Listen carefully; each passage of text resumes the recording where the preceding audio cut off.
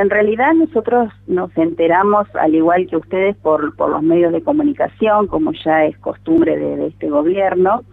Y bueno, eh, en ese sentido la información es que la ministra va eh, a intentar una revocatoria en cuanto a ciertos nombramientos que se realizaron al finalizar la gestión anterior del gobierno anterior y en este sentido se analizarían tres resoluciones que fueron firmadas por su antecesora, eh, la ministra Balaguer, en donde bueno se otorgó la titularización a entre 500 y 800 cargos aproximadamente que tienen que ver con programas eh, específicos que fueron del gobierno anterior y que se hizo a modo de reparación histórica. ¿Qué quiere decir esto? Que anteriormente a eso no hubo otro tipo de titularización en este sentido. Eh, por eso estos cargos se van a evaluar porque ellos sostienen que se cometieron irregularidades, pero que bueno, eh, ya en eso, en eso después te voy a ampliar un poquito a qué se refiere con este tema. Bien, contanos entonces, digo, eh, porque obviamente la palabra irregularidades en la función pública o en la designación de cargos públicos este, siempre tiene sus, su, su, sabor así un poco agrio, uno empieza a, parar la oreja, a abrir los ojos. Eh, contanos qué es lo que se detectó, Claudia, o qué es lo que presuntamente se detectó. Eh, por eso, bueno, nosotros lo que tratamos es de llevar eh, la tranquilidad a, la mayoría de los docentes que titularizaron el año pasado, que bueno, los que nosotros tenemos hoy por hoy en nuestro departamento, que tiene que ver la mayoría con los cargos base, que son maestro de grado, profesores y bueno, todos los que titularizaron y están este, en este momento en actividad. Eh, como te decía, el, por ahí la lupa va a estar puesta sobre estos cargos que, eh, como te decía anteriormente, se hizo a modo de reparación histórica y por eso esto que ellos cuestionan en cuanto a que se omitieron algunas instancias que normalmente se realizan en las etapas de concursos, como son los ofrecimientos a traslados, el tema de la carpeta médica, la incompatibilidad horaria. Bueno, todo eso eh, en un proceso normal de concurso año a año se hace. Pero ¿qué pasó en este caso? Eh, no se hizo traslado porque no había eh, cargos para traslado. no hubo un concurso anterior de, vuelvo a estudiar, de, de ejes de convivencia, de los equipos territoriales, entonces esto se hizo por primera vez. Por eso lleva toda una connotación especial que tiene por ser la primera vez. Eh, y en este sentido, bueno, el Tribunal de Cuentas, eh, nosotros ya lo recibimos el año pasado, esta notificación, y bien ellos asumieron eh, que se cuestionó esto, y, bueno, al principio se dejó en stand-by hasta febrero-marzo, donde arrancamos las clases, y aparentemente ahí todo, como te digo, los que nosotros tenemos como maestro de grado y profesores, arrancaron en, una normalidad.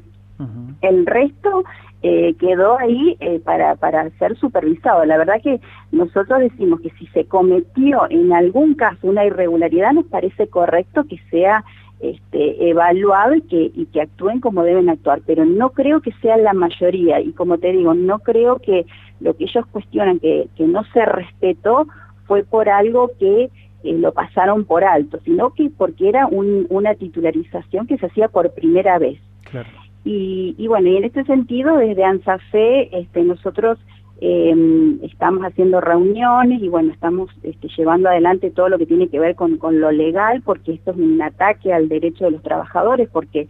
eh, fueron años de lucha de, los docentes para lograr una ley de paritaria y con ello la posibilidad de discutir condiciones de trabajo, salario, carrera docente, entre otros temas. Cada concurso, cada avance lleva análisis, debates, resguardo de puestos de trabajo y el respeto, el respeto de las trayectorias docentes. Eh, lo que se pone de manifiesto en las convocatorias siempre que son surgidas del ámbito paritario. Como te digo, eh, la convocatoria del año pasado llevaba esa exclusividad que se iba a hacer por primera vez la titularización de, estos agentes. Entonces para nosotros fue todo un logro y, lo festejamos como una, un avance, digamos, en, en la carrera docente. Y hoy este gobierno de turno cuestiona este, todo eso y bueno, y quiere avanzar sobre esos derechos adquiridos. Nosotros desde ese lugar siempre vamos a defender, digamos, al trabajador y a, su estabilidad laboral. Claudia, eh, eh, ¿esto se dirime en la justicia eh, o hay otros caminos que, prevé AMSAFE incursionar, digo, dentro de, no sé si, si hay tecnicismos previos a, a debatir en ámbito judicial y se revé asignación por asignación, titularización por titularización? sí, por eso te digo, nosotros, bueno, en las reuniones, hoy se hace la reunión con los abogados, bueno, ellos van a hacer toda la parte, digamos, de asesoría y, bueno, y vamos a ver cómo, cómo vamos de ahora en más, porque ya te digo, eh, nosotros como ANSAFE tampoco tenemos ninguna presentación, o sea, hasta el momento ninguna persona eh, afiliada a nuestro gremio se presentó o hizo alguna presentación donde sus derechos, digamos, fueron vulnerados, ni, eh, no, hemos recibido nada en, el tiempo anterior al que ellos dicen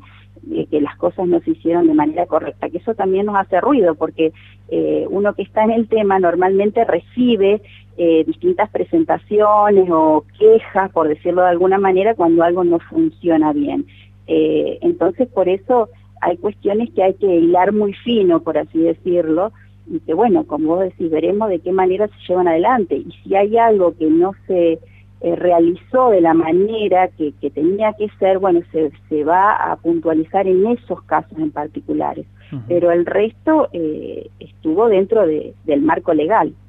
Está bien, está muy bien. Eh, bueno, el mensaje entonces es de tranquilidad para esos docentes, porque me imagino que deben estar todos bastante este, preocupados, ¿no? Porque por un lado decían, bueno, conseguí la titularización, que es el sueño de, de cualquiera, porque, porque le da estabilidad, y ahora esto hace que, todo eso se, se, revea. Lo que dice el Estado provincial es esa titularización puso en riesgo el, eh, déficit del sistema educativo, en el sentido de, recursos. Sí, eh, eso también este, lo, lo, escuché, pero a ver, yo digo, hubo una etapa de transición desde el momento en que el gobierno actual ganó las elecciones, que fue allá por agosto, ellos sabían y hubo toda una instancia de transición donde eh, ambas partes, digamos, deberían haber acordado cosas, o sea, nos sorprendió que en un diciembre que entraron de la manera que entraron, empiecen a cuestionar un montón de cosas, la verdad que,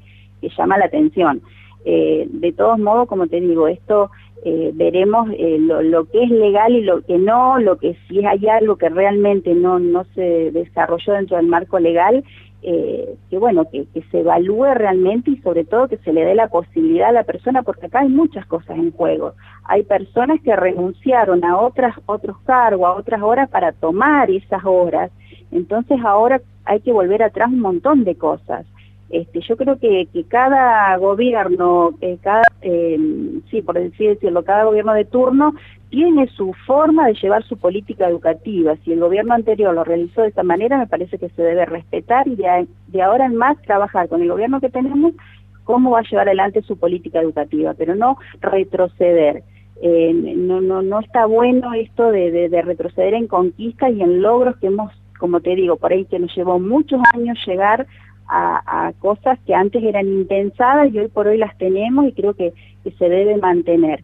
Eh, pero bueno, como vos bien decías, por ahí llevaba tranquilidad a los docentes porque esto no abarca a todos, es solamente con algunos programas y con, con algunos casos que ellos detectaron, pero que el resto de los docentes que titularizó que se queden tranquilos porque eh, no, no, van, no se van a ver afectados de, de